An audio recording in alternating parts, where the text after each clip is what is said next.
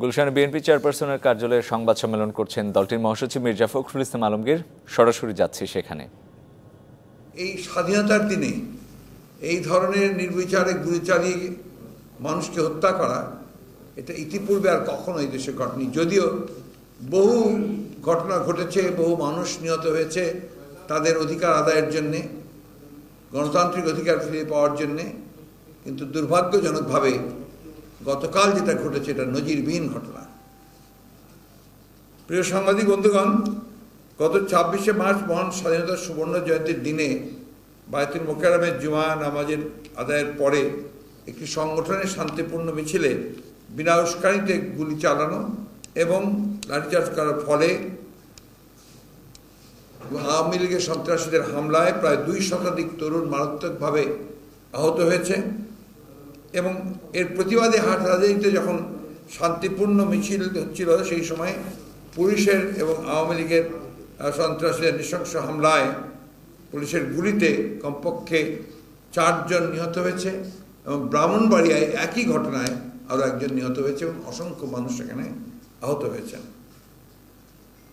মহান স্বাধীনতা দিবসে পঞ্চাশ বছর পুরনো এই দিনেই নৃশংস হত্যাকাণ্ড জাতির জীবনে এক জঘন্য কলঙ্কজনক অধ্যায় আমরা এই হত্যাকাণ্ডের তীব্র নিন্দা প্রতিবাদ গতকাল রাতেই, অনেক রাতেই আমরা জানিয়েছি।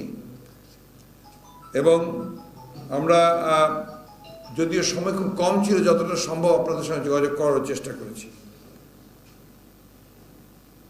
মিছিল, সমাবেশ সভা অনুষ্ঠান করা আমাদের সাংবিধানিক গণতান্ত্রিক অধিকার।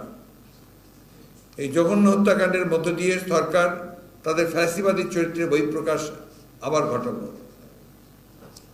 দীর্ঘদিন ধরে নিজেদের অবৈধ ক্ষমতাকে ধরে রাখার জন্যে হত্যা, খুন, গুম ও নির্যাতনের মাধ্যমে বিরোধী দল এবং ভিন্ন মতকে দমন করার এই যে প্রচেষ্টা সবসময় তারা চালিয়ে আসছে এবং গতকালকে ঘটনা তারই একটা চিত্র।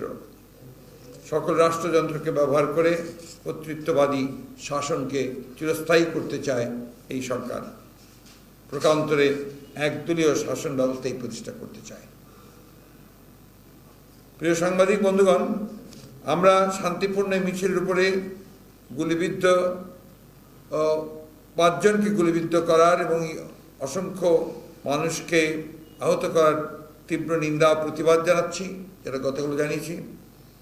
এবং আপনারা নিশ্চয়ই জানেন যে ইতিমধ্যে আমাদের তিনটি অঙ্গ সংগঠন, বাংলাদেশ জাতীয় দল ছাত্র দল যুব দল স্বেচ্ছাসেবক দল তারা আজকে সারা দেশে প্রতিবাদ মিছিল করেছে।